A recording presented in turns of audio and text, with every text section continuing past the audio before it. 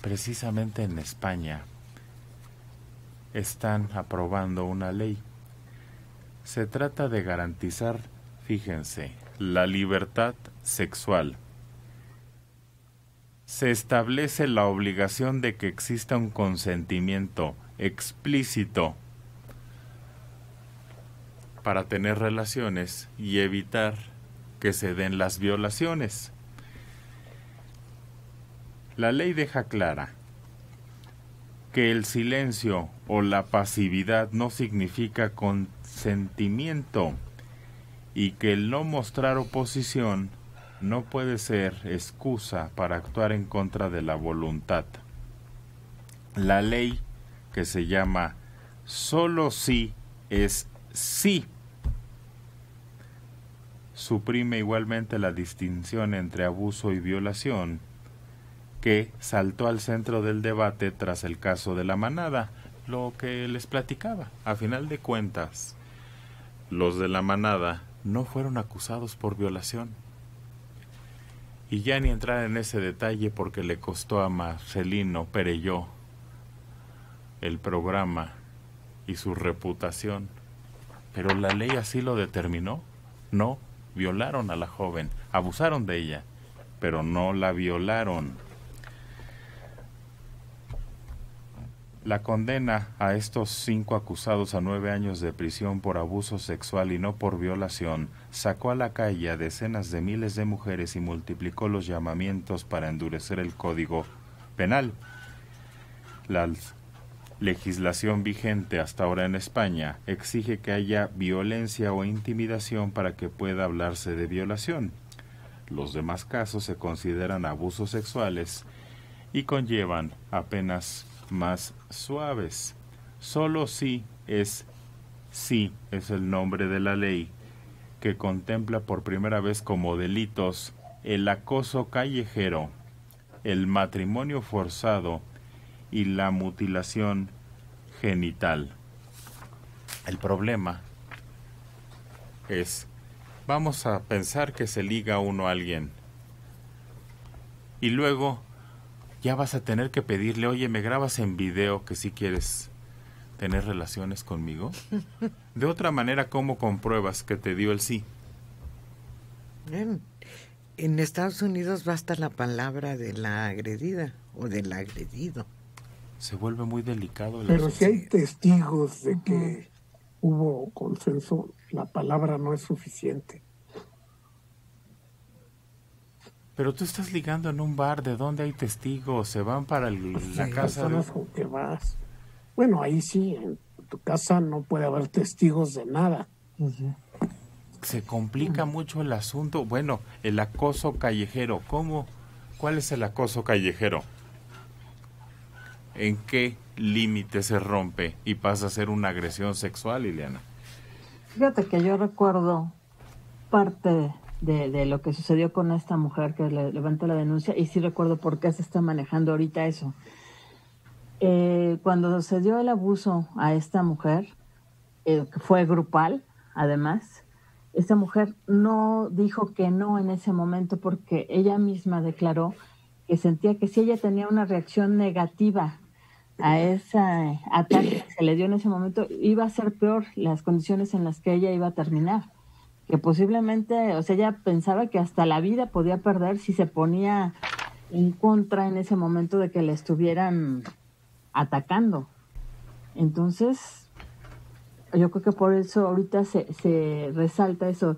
Si la mujer no dice sí, va en su contra, estás actuando en su contra. Entonces sí tiene que haber mucha claridad. Ahora, no quiere decir que si tú conoces a alguien en una fiesta o algo, a fuerzas tengas que tener testigos para tener relaciones con esa persona, ¿no?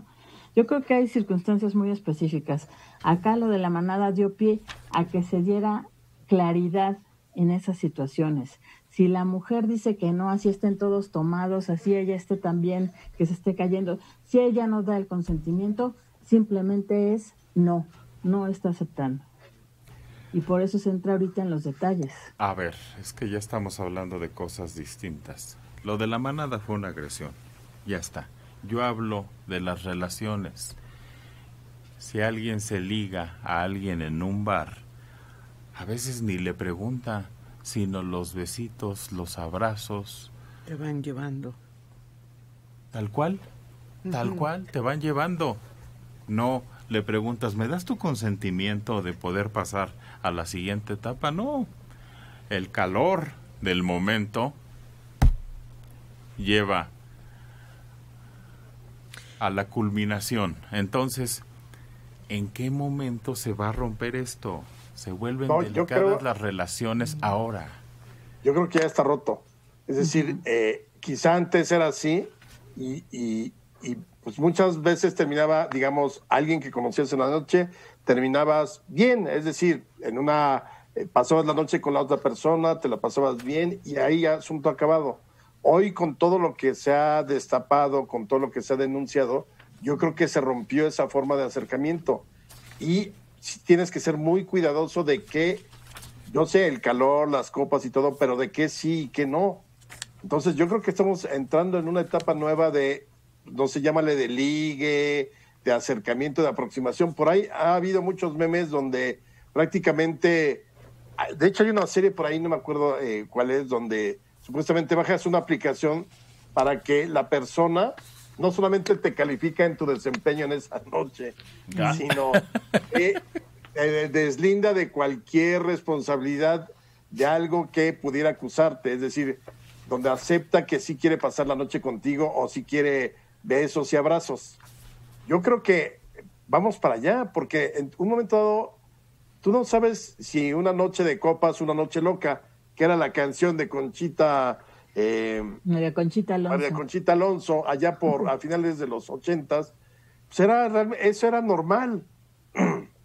Hoy sí, a ver, échate ese, trompo a la uña, como dicen. ¿Cómo le dices? Oye, me encantas, en medio del beso, eh, pero tengo tu consentimiento. o sea, no te detienes. ahí ya se acabó el rollo, claro. Exacto. Ya cállate si eso de que califican, ya me es que es sumamente complicado, como dice Alejandro, y en lugar de mejorar la relación entre hombres y mujeres, yo creo que se, se hace más complicada, menos espontánea. Menos espontánea.